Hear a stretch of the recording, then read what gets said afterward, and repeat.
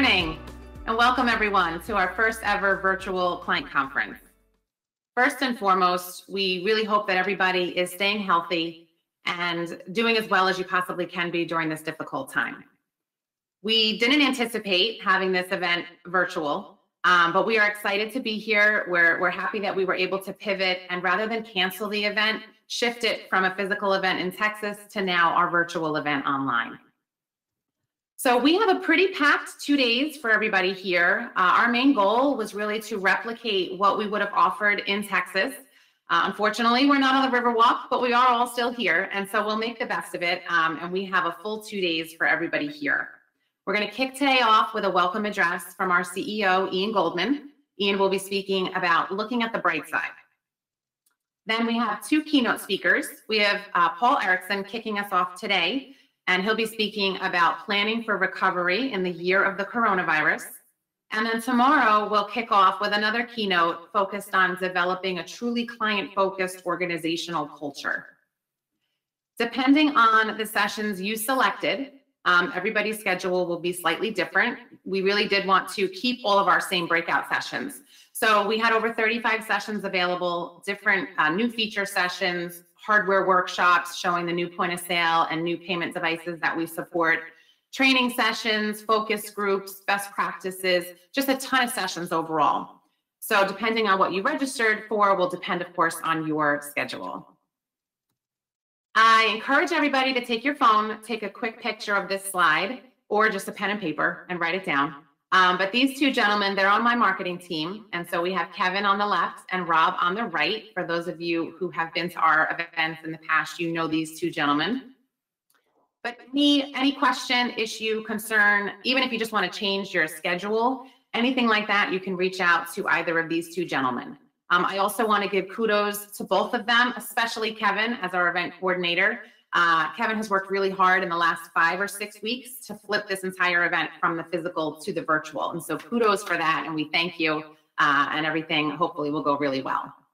Okay, so what I want to do next is give everybody a tour of our event software. So hopefully everybody poked around a little bit, um, but I will walk you through it just to make sure. So we have four main sections here, and you can jump into each of these through this main area, or you can go in through the top header. So I'm going to jump into sessions. And so right now we are in the introduction and welcome address. And then at 1030, everyone will move into the keynote. So at 1030, you'll click here and you don't see it yet, but at 1030, there's gonna be a big button here that says join now. That's the button you'll wanna hit at 10.30, it'll put you right into our keynote presentation. After that is over, the first breakout session starts at 11.30. My breakout is promotions and markdowns, but everybody's will be different based on what you registered for. But when you click on this, again, you'll see our team member. In this case, it's Terrence, one of our implementation managers. And at 11:30, there'll be a button here that says join now. You'll just click on that button. It's going to put you right into the GoToMeeting. All of our team members will have their web cameras on, will be in Celerant shirts. Um, so I really encourage each of you to turn on your web camera as well if you have one. Uh, this way it can be as interactive as possible. If there's any issues with the join now button, we did also include the GoToMeeting information here and the call-in number. I recommend you use your laptop audio, but of course you can use your phone as well, whatever you're more comfortable with. So next, let's go into the sponsor showcase. So this is all of our partners. Um, so last night, unfortunately, not being in Texas, we didn't have our cocktail party with our open bar and our d'oeuvres and all of that, but we do still have all of our partners here participating. And I encourage everybody to visit with our partners. And how you do that is you click into this section. Each partner has a booth, a virtual booth. And so let's look at global payments. Just click visit. Global payments, of course, is OpenEdge our, our payment processing partner. And so when you're in their virtual booth, you can watch their video. And then there's downloadable resources down here, different things, more videos that you can watch, whether it's a client success story or uh, just collateral or, or brochures.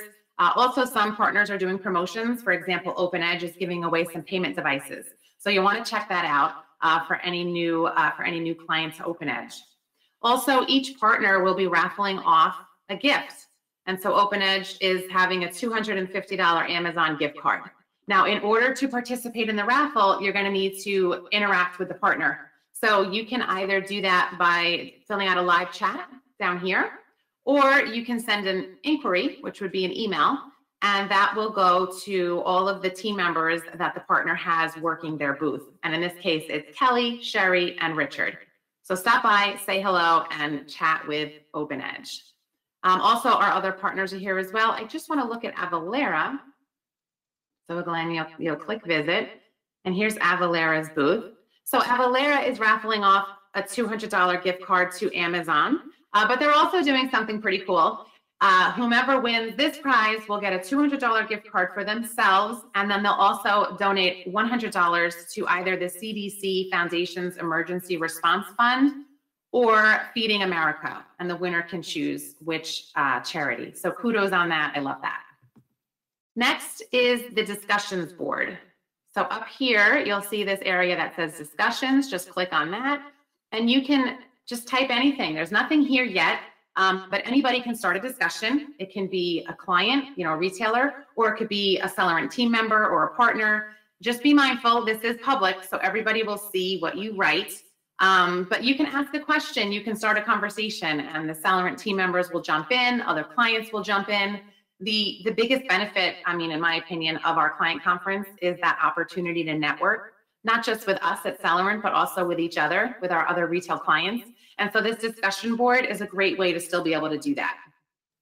So next we'll look at the resource section. So in each of your breakout sessions, you'll be able to download the materials applicable to that session, but you've only signed up for about eight sessions. So in this area, you can download all of the materials from every session that we have available.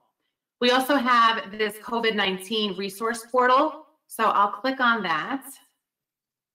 And we have a ton of information in here that you can check out to help you navigate through COVID-19. Um, last week, we did a webinar. We hosted a webinar. Z Kamzani, our Director of Web Services, Ray Weiner, one of our senior sales executives, and myself, we hosted this webinar called How Retailers Are Adapting in Difficult Times. So if you missed it, you can come right in here and click on this and the, the YouTube video link will pop up. I will warn you, it's an hour long. So uh, you'll want to watch it in between or even just copy the link and, and you can watch it at another time. But additionally, in here, we have a lot of our blogs, tips, and different things that we've put together here at Celerant to help our clients get through COVID. But also, um, we invited all of our partners to send their resources as well. So there's a lot of different stuff in here that can help. Uh, so you'll definitely want to check out that area.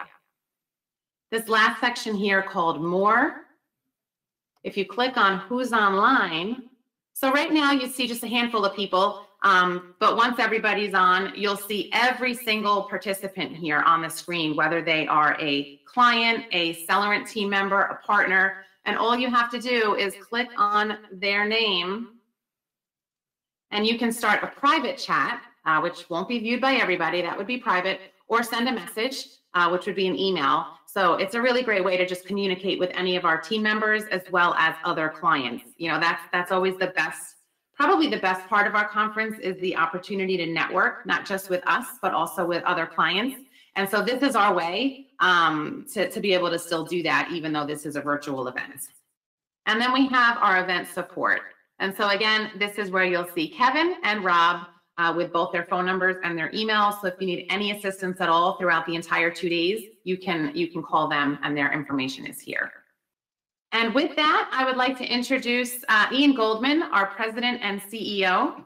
Ian will be talking about looking at the bright side, um, really adjusting to our new normal now, moving through COVID-19, and of course beyond. Welcome to our first and hopefully only virtual user conference.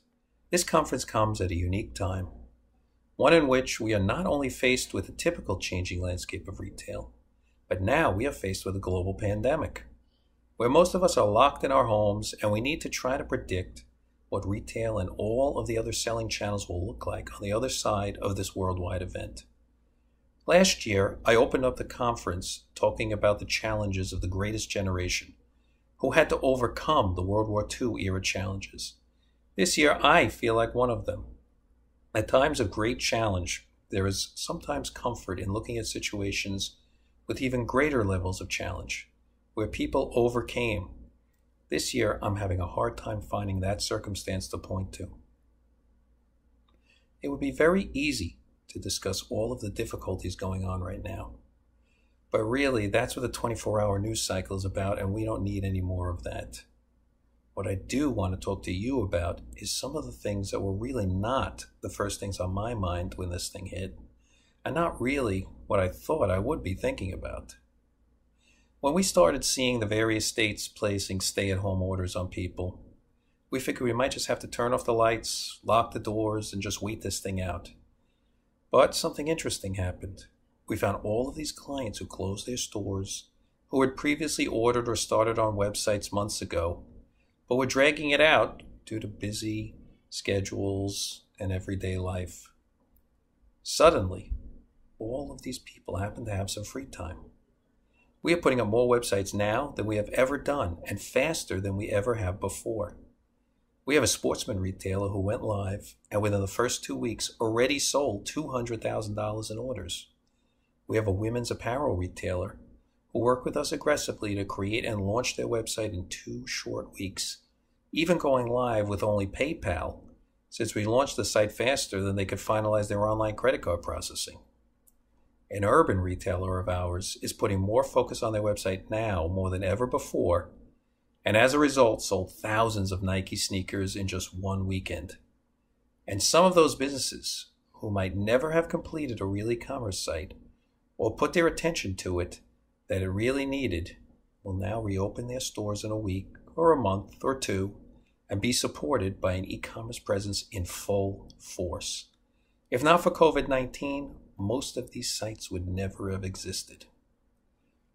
Some businesses have actually increased sales. Yes, certain industries in times of crisis do seem to prosper or even excel. Having an entire country confined to their home seems to accelerate certain industries.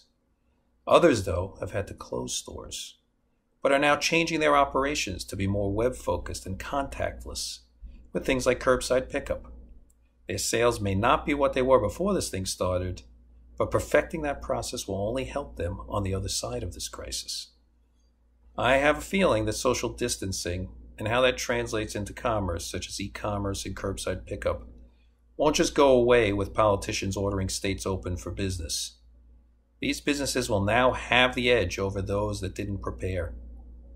At Celerant, we are moving quickly to support our clients' efforts and create new technology such as curbside, a curbside app to help streamline these processes. In the weeks leading up to this pandemic, our team created a new app that enables your customers to select curbside pickup on your website, enter their mobile number, get a text message when the order is ready for pickup, click a link within the text message when they arrive at your curb, and your associate is notified that they are waiting outside. These efforts will help you now, but also as we move past this pandemic, as your consumers' buying patterns will surely change. Personally, this experience has also been a challenge. Certainly, working at home when you are used to being in an office is an adjustment. It can be very distracting. And without the energy of your team around you, it can be demotivating. Zoom calls are some relief, but not the same thing. But now I have dinner with my family every night. There isn't a whole lot to do besides cook, so they are some of the better meals I've had in recent memory. I even have lunch with my kids many days. This really didn't happen before COVID. My wife had to cut my hair. She doesn't know how to hide the gray like my regular guy. But maybe I'll save $20 a month after this is over. Nobody made any comments yet. I probably look the same to all of you. The other week, my little seven year old while running from room to room, stopped me on the chair, grabbed me by the neck, gave me a big kiss, and then ran away off to whatever it was she was doing. That's been happening every couple of days. Once I go back to work, I guess that won't be happening anymore. My wife found the website with freelance teaching, so my kids take these Zoom classes during some of the downtimes. It's not quite soccer or ballet, but I see them trying all kinds of artistic skills. They're acting and testing me on all sorts of historical and scientific facts at the end of the day.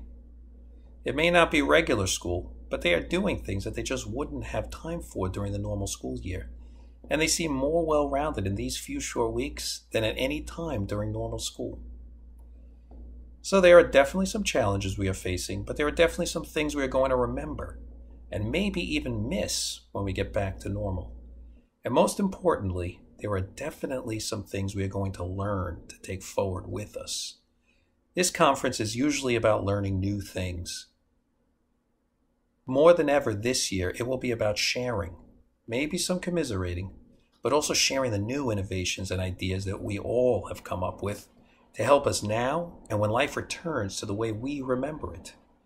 We may not be physically together in Texas as planned, but we are still here together. And hopefully tomorrow we can all share a laugh and a drink at our virtual happy hour.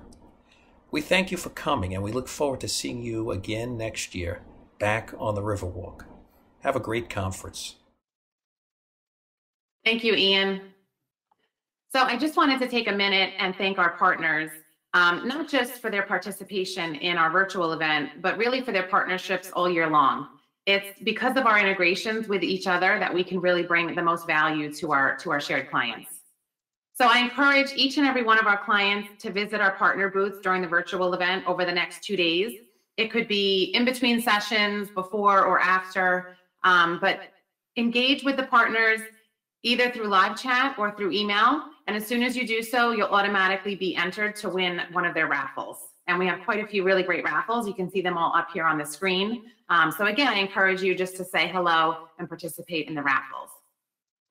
And speaking of awesome partners, um, now I'd like to introduce Paul Erickson, who comes to us from Management One. Uh, we worked with Paul for many, many years, and Management One offers open to buy and merchandise planning services um, but this morning, Paul's not talking specifically about open to buy. Instead, he is opening our session with our first keynote uh, focused on planning for recovery in the year of the coronavirus. And so just a quick reminder, how you'll get to the next session is you see how I have it circled here. Just click on 1030 and you'll see keynote planning for recovery in the coronavirus. Uh, click on that and at 1030, not before, but at 1030, there's gonna be a button there that says join. Click on that and that'll put you right into Paul's session. During the next two days, I personally will be hopping in and out of a bunch of sessions. But if I don't see you personally, I hope to see everybody back here tomorrow at five o'clock, cocktail in hand for our virtual happy hour. Hope you guys all have a great conference. See you tomorrow.